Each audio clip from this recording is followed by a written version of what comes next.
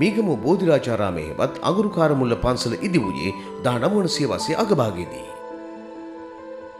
විහාරි ඇතුළට ගියාම කෝටි ගානක් වැන්ද පිල්ද කිරිගන්න බුද්ධ ප්‍රතිමා වහන්සේ. ඊළඟට දර්ශනී විහාරගේ බලපුහාම ලංකාය මංතනය කොයවත් නැති චිත්‍රය මූර්ති තියෙන විහාරස්ථානය. එ අවුරුදු සීයකටත් වඩා පරණයි ගොඩක් බොල් වෙලා තිබිලා දැන් අපි අල්ටිං හදාගෙන යනවා. මේ වටදාගේ ගත්තාම සිංහල රජකාලයෙන් පස්සේ ඉදිවෙච්ච ප්‍රථම වටදාගේ.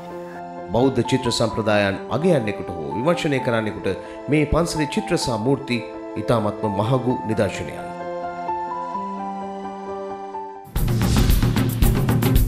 ශ්‍රී ලංකා ටෙලිකොම් එකම රටක් එකම හඩක්.